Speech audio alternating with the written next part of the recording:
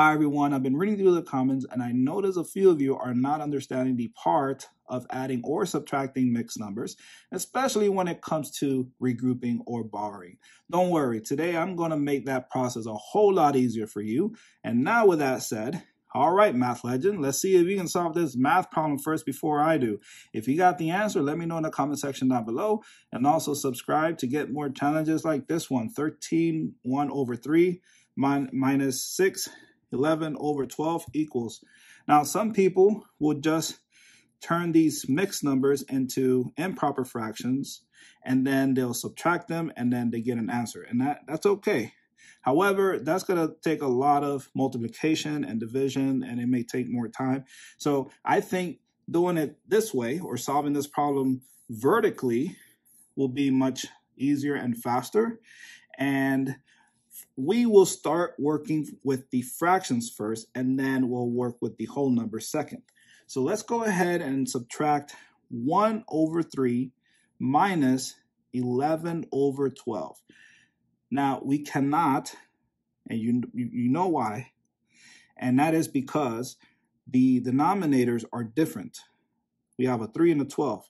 They need to be the same for us to subtract these fractions.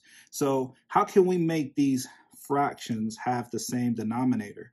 Well, the first thing I'm thinking of is get the multiples of 3 and 12 and find the, the least common multiple, which is the lowest multiple both numbers that we are working on, the 3 and the 12, have in common. So let's go ahead and find the multiples of 3 and 12. And I am going to draw my um, table here. We have the space. And I'll write the 3 here and the 12 here. And then I am going to write numbers 1, 2, 3, and 4 and stop there. So these are the whole numbers that we'll use to multiply the 3 and the 12. So we can find our multiples.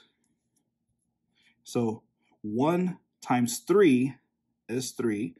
2 times 3 is 6. 3 times 3 is 9. And 4 times 3 is 12. And you can barely see it, so I'm just going to write it here. So the multiples of 3 is 3, 6, 9, and 12. And the multiples for 12, 1 times 12 is 12. Oops, look at that. It's not a oops, but look, there's a 12 here and a 12 there. That's good. So we don't have to continue multiplying 2 times 12 is 24, blah, blah, blah. We can just stop there because you should know why. The 12 is the smallest multiple that both numbers here have in common. So that is the lowest common multiple, 12.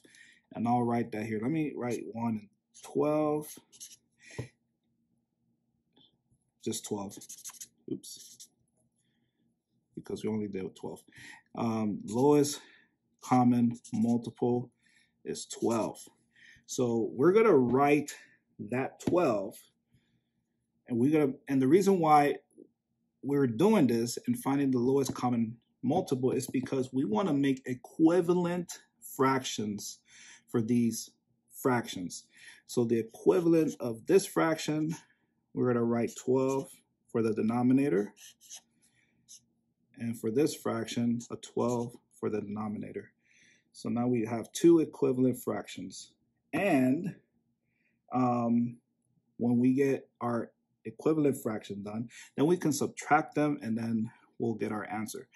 Now, that's why we're doing the lowest common multiple. But we first need to find the um, multiples of these two numbers, 3 and 12. Now that we have our denominators the same, now we have to put our new numerators. And by doing that, so we can complete our um, equivalent, we have to find we have to find what times 12 times what give us 12 1 right and 11, and whatever you you write here below the fraction, you do the same up here. So 11 times 1 is 11. And then what you do here, 3 times what give, gives you 12? Well, 4. So what you, what you do here, you do up here. And so 1 times 4 is 4. And now we can subtract because the denominators are the same. Now, there's a it, there's a problem here. 4 over 12 is smaller than the 11 over 12. And anytime um, you have the first fraction smaller than the second fraction, you need to borrow from the whole number that I'm pointing at, which is 13, to make the first fraction larger so then you can subtract. So we're going to borrow a 1 from this 13. So now it becomes 12. This is the reason why I wanted to start with the fractions first. And then we'll move on to the whole numbers.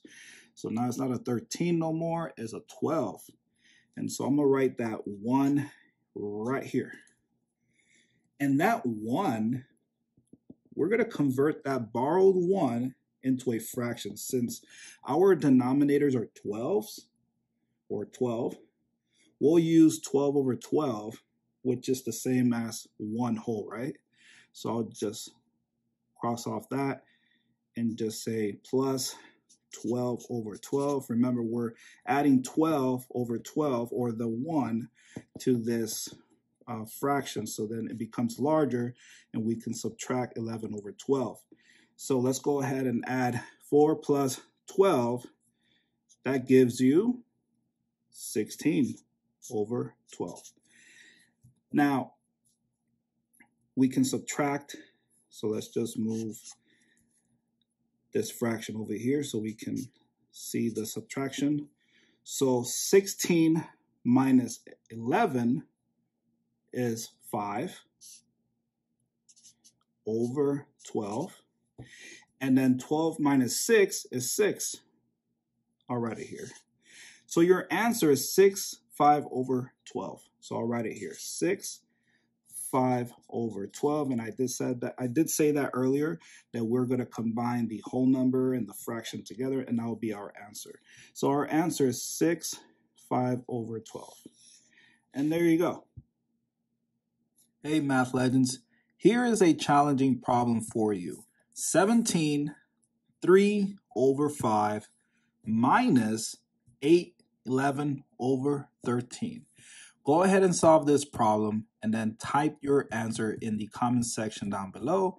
And this will be good practice. So thank you for watching and I'll see you in the next video.